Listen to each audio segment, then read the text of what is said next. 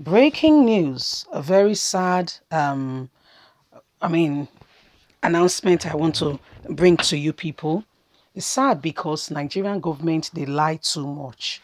Do you know that one of the two people killed by DSS in Sunday Igboho's house was blind? So you see what I mean when I said sad. DSS lied that when they got there, they they, they, they engaged in a gun battle with Sunday Igboho people that were in his house. The reason why they kept the people for over 61 days, even after lawyer has said the judge has said they should be they should be released, you know, DSS kept them. Remember that they gave a very high condition for them to be bailed.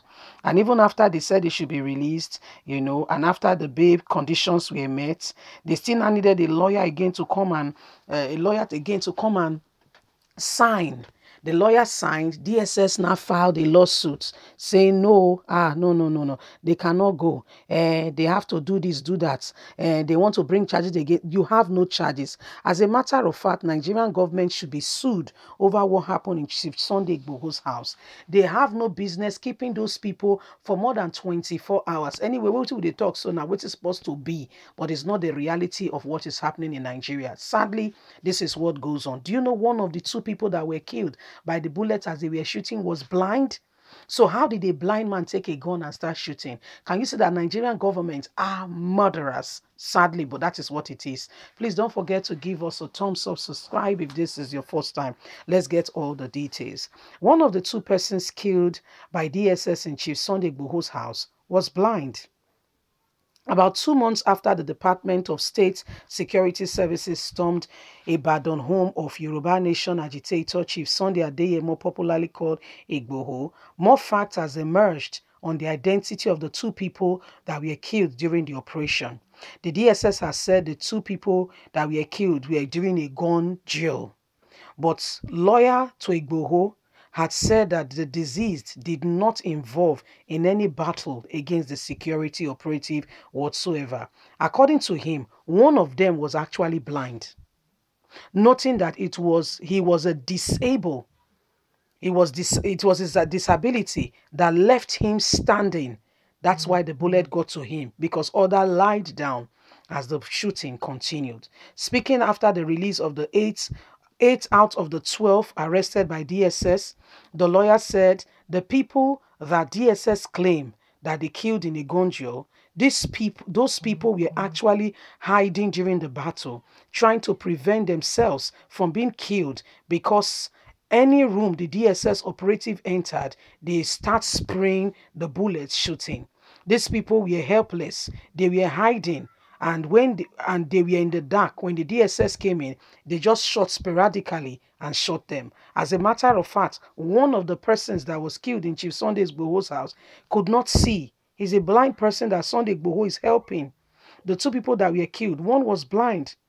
He was in the bathroom hiding and did not know how to dodge when the bullet spray shooting started. The identity of that person was called adisa shagyu popularly called Adogun, Igboho uncle, who was living with him and was assisting him because of his condition. Is that not sad? Just to let you know. That's that's the way I feel. As a matter of fact, I feel so emotional right now. Honestly, honestly. It's only somebody with a heart of stone that will not understand that there is oppression, serious oppression going on in the land of Nigeria. I'm sorry, but I just want to take a moment because it's really sad. It's really sad, you know. There is too much oppression in the land. One of the persons was his uncle who was blind. And the kind of kind hearted person he was, all he wanted to do was to support, was to assist, was to was to ensure that, you know, he's not left on the street. Not, not everybody will bring a, a relative to their to their home or to their house. But Sunday Igboho dared to bring him home. You know, you know, looking after him. That's where he will eat, you see. That's where he'll be well treated. And, you know, eh, we know how Nigeria society, we, don't, we have no provision for dis disability, for those with disabilities. Those, those in need of, you know, that are, that are living in disability in one area or the other of their life. We know how it is in Nigeria that there is no opportunity for them largely It takes those who are from very wealthy family to have help. You know, we know some people that are, you know, that are superstar in our, in our country, but that were blind. But go and check the history. Thank God for their parents; they were well to do. Not just every Tom, Dick, and Harry. You know, one of one very superstar who was born blind, but guess what? The parents sent him to America.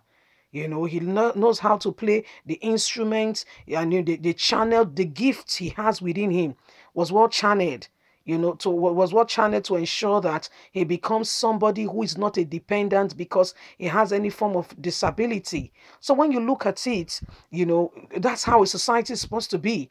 So how was he how was he able to those things tailored that he was able to become somebody that is independent despite his eh, disability? It is because society like that, developed country, make provision. They don't they don't discard people with disability. They are part and parcel of the society. They are part and parcel of the of the of the of the people, and they don't just look down on them. They don't just say, "Who is this one?" They don't disdain them. No, they have a part. They have a role, and you treat them with equality, fairness, truth. You know, and that's the way it is disability does not mean that the person is less privileged. I mean, is it his fault that he was maybe born blind or became blind as a result of sickness or something? It could happen to anybody, you see. And so that's why we don't write people off. But sadly, Buhari's government, I must say to you again and again, is a government, you know, that is that that that, that, that is terrible. Sadly, I feel so bad about, you know, hearing that one of the persons was disabled one of the persons was disabled. What could he have done? They said he was actually hiding in the bathroom on the bathtub. He was trying to hide. But you know, and he said that as soon as they, those people came in then, any room they enter, they just start shooting sporadically. So the person does not even know what was going on. One of the person, funny enough, is his uncle.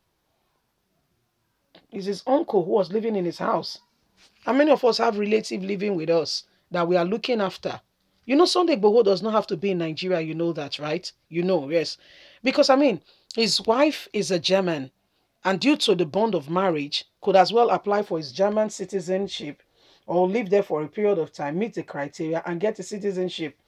If he sees that Nigeria is becoming a place that, you know, we're just fashion the whole place and, you know, go and live in a place that, you know, he will, he, he, he, will, he will have peace of mind. But, new, but no, he decided to stay and to look after people. This is the crime Chief Sunday Igboho has committed. Oh. Leave us a comment. We'd love to hear from you. Please don't forget to like us, share, subscribe. God bless you. Bye for now.